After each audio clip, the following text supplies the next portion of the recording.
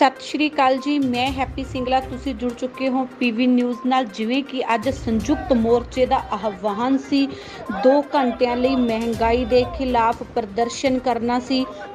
ਦਿਖਾ ਰਹੇ ਹਾਂ ਕਿ ਸਿਰਸਾ ਤੋਂ ਵੱਖ-ਵੱਖ ਇਲਾਕਿਆਂ ਦੇ ਵਿੱਚ ਕਿਸ ਤਰ੍ਹਾਂ ਪ੍ਰਦਰਸ਼ਨ ਕੀਤਾ ਗਿਆ। ਨੰਗ ਅੱਧ ਨੰਗਨ ਹੋ ਕੇ ਵੀ ਪ੍ਰਦਰਸ਼ਨ ਕੀਤਾ ਗਿਆ। ਬੈਲ ਗੱਡੀਆਂ ਤੇ ਚੜ੍ਹ ਕੇ ਵੀ ਮਹਿੰਗਾਈ ਦੇ ਖਿਲਾਫ ਪ੍ਰਦਰਸ਼ਨ ਕੀਤਾ ਗਿਆ। ਦਿਖਾ ਰਹੇ ਹਾਂ ਮੌਕੇ ਤੋਂ ਸਿੱਧੀਆਂ ਲਾਈਵ ਤਸਵੀਰਾਂ।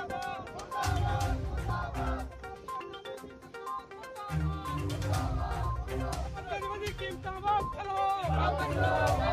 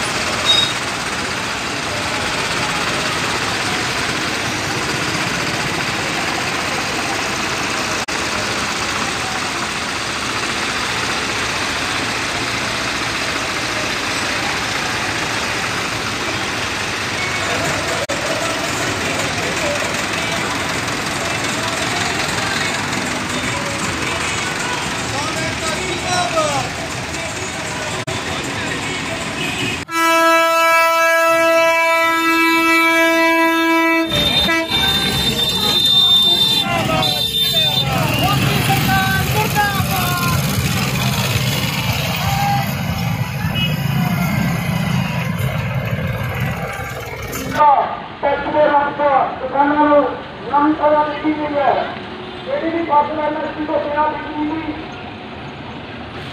ਉਸ ਤੋਂ ਬਾਅਦ ਦੇ ਟੈਕਸ